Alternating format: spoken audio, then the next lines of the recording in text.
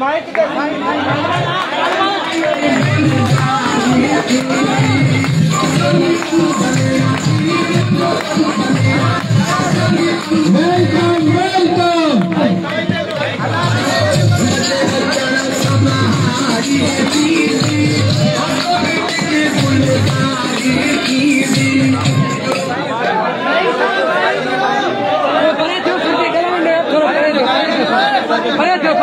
बाबा सभई बीहो त सर तव्हांखे पंहिंजी जेका अनाउंसमेंट आहे नोटिफिकेशन उहा समझाए ॿुधाए ऐं सम्झाए सभु दोस्त जीअं पहिरियों वेठा हुयो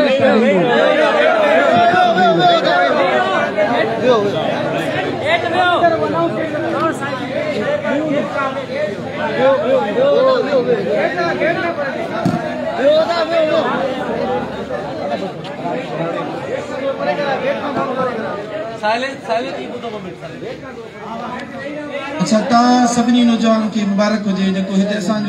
मक़सदु हुयो उहो ईअं थी वियो आहे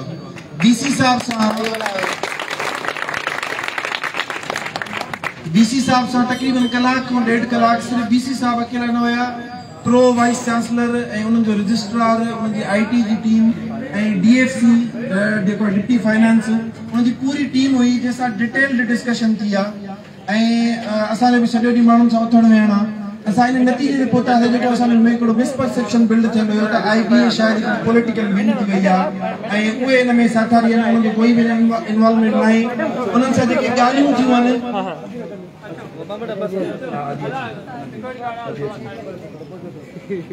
सां जेके ॻाल्हियूं थियूं आहिनि उहे असां बाउंड आहियूं ॻाल्हाइण जे करे त चोवीहनि कलाकनि ते असां डिस्क्लोज़ न कंदासीं पर तव्हांजा जेके मुतालबा हुया जाइज़ उहे पूरा थी विया आहिनि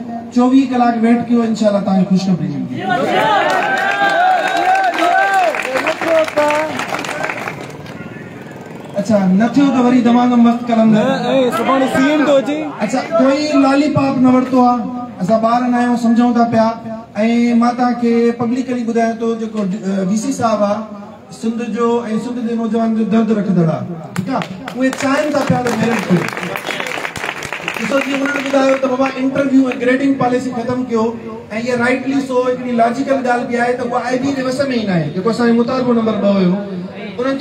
सिंधु ख़तमु करे थी असांजे कमु हुयो त असांखे कुझु डिस्कलोज़ नथो करणु चाहियां कुझु असांजी मजबूरियूं आहिनि असांजी फतह थी आहे आई बी ए जी फति आहे सिंध जे शहूर जी फतह आहे चोवीह कलाकनि जे अंदरि जेके भी दोस्त जेके भी नौजवान आया हुया जातों भी आया आहिनि मां उन्हनि सभिनि जो दिलि सां गुज़ार आहियां जेके हिते उस ऐं गर्मी में वेठा रहिया ऐं मुश्किल ऐं परेशानी बर्दाश्त कयूं मां चयमि